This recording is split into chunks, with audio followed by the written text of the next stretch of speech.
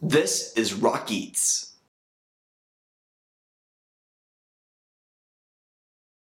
Welcome to Viv's Place. Located on Main Street at Radford University, this restaurant has a nice assortment of burgers, hot dogs, and desserts. Radford University's ROC TV visited Viv's to get an interview with the owner to see what it is that they do, as well as how they get the cool ideas for their food. Hi, I'm Sam Montana from uh, ROC TV here interviewing Viv, the owner of Viv's.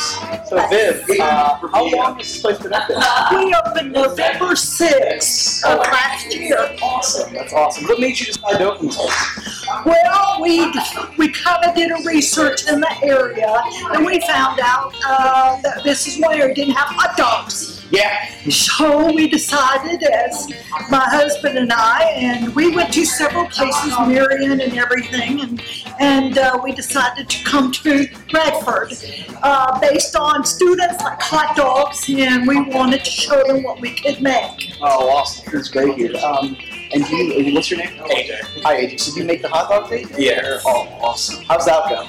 I mean, it's fun. I just saw they come out looking amazing and they're fun to cook as well. Awesome. How do you guys come up with the awesome variety of hot dogs you guys have?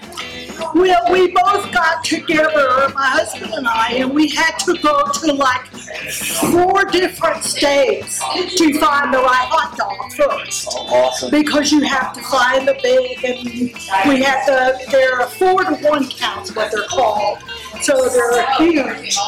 And then the toppings, you just have to add them on and see how, what you would take or take off. And that's how we kind of did it. Cool. Who makes the pastries? We have uh, out of uh, store bakers. They're hot, they're ServSafe certified, and then they're inspected by the agriculture department. I have three, and they bake these. They're delicious. It's awesome. My personal favorite is the Crazy Ed. How did that one come about? My crazy dog. Yeah. Yeah, his Mr. Ed, and he was crazy. Yeah.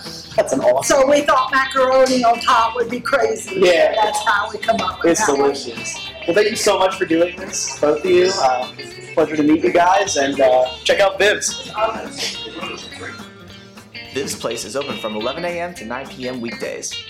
So come on down and enjoy their food and get a chance to sign their wall. As always, please subscribe to our channel as well as follow our social media accounts on Facebook, Instagram, and Twitter.